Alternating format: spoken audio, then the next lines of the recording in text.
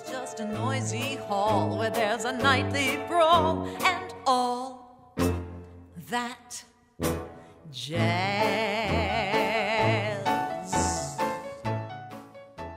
This is a brilliant piece of theater. It's, it's to comment on our society by showing it within an evening of vaudeville. That's pretty eloquent. You know, the defense attorney has his client as a, ven- is a he's a ventriloquist and he's got his dummy, and that's a press conference.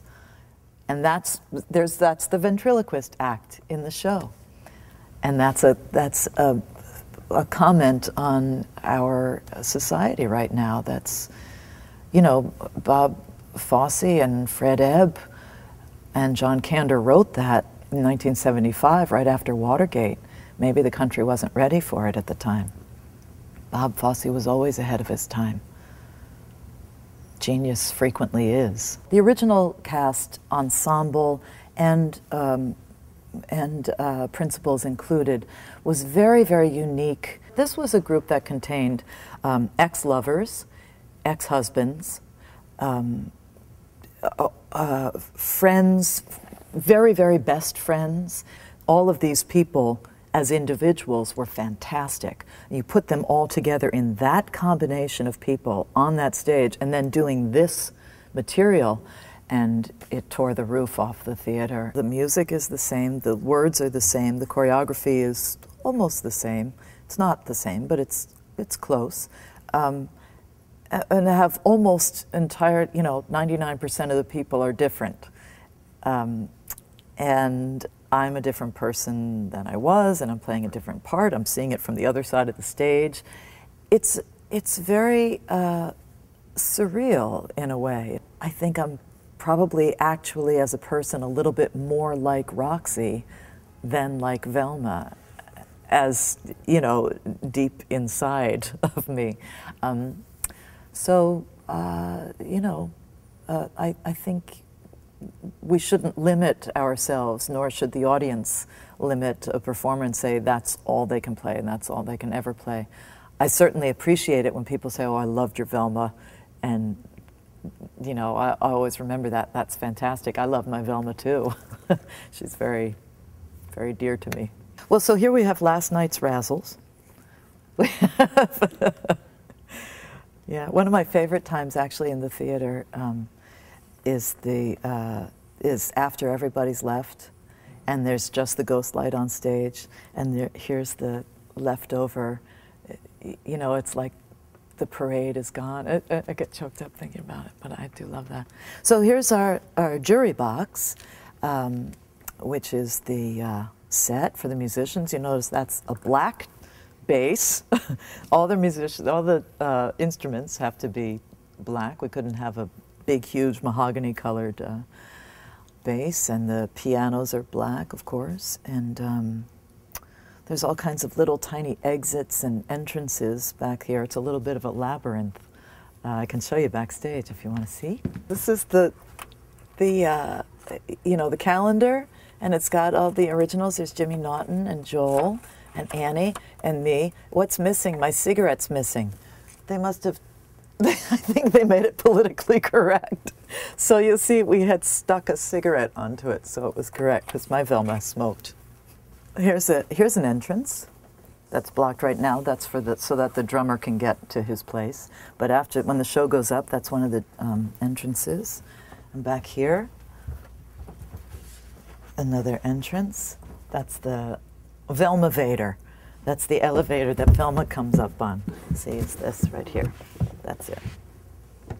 And then at the end of the show, Brenda Braxton and I take the elevator down and we just wait there until everybody leaves and then we can leave. This is our backstage areas actually on the stage. Let's go to Hell Kitty's gloves and her chokers, her jewels. These are my pins, my lipstick and my Ricola. There's the stage manager's office here, and you see there's some hats are kept there, some of the bowlers. It's a very, very small backstage area um, in this theater. So they really, they, they do, they use everything Here's where the fans live. Oh, yeah, this is uh, a list of the longest running shows in Broadway history. I think that A Chorus Line is the longest running show in Broadway history, not Les Miserables, Cats, or Phantom, because those are West End shows. But the longest running Broadway show Chorus Line. This says that you guys are coming to the theater to shoot today. We have to notify, as per our equity rules, we have to notify everybody. This is the wardrobe room here. There's a rack of black clothes. 24 years ago, I did dance in here in 1983, and almost the entire basement was the quick change area, and it was it was just sort of curtained off into two big areas with a lot of costumes, and the women are were on one side, the men were on the other, and you go up and change and dance and come down and change, or sometimes change in the wing. Um, which I did for most of the second act. I, I started the second act with about three layers of costume. yeah, God, it was fun. You know, smells are very um, evocative, and sometimes I come in and I smell the stage door area, and I remember being 23 in a Fosse show and being in heaven. this is so funny. They have because there's there's always they're always changing Velmas and Roxie's. So they just said, you know what? Let's just put the character's name on the back. it used to say Bebe and Annie, and now it just says, you know what? Velma and Roxie. Justin Brosnan takes care of all of the wigs in the show. This is where all the wigs live um, for the show. Um, this is, well, this is a deconstructed Roxie. This is what Bebe actually wears in the show. Princess. And she makes me call her princess, and I have to bow out of the room as I leave on a nightly basis. Something I've grown accustomed to. Um, but yeah, this is the way it starts, and at the end it looks fantastic, and Bebe looks awesome in it, and of course does a beautiful job uh, of wearing it. And um, it takes about, I don't know, about an hour. To Really? prep this every day, yeah. Oh, okay. You don't have to work, walk day. backwards then.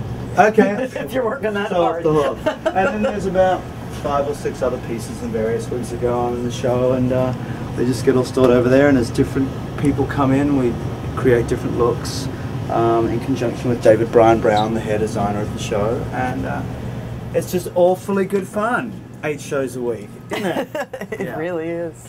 Well, thank you for letting me show you this um, beautiful theater and this beautiful place where we get to do our beautiful show. Thanks.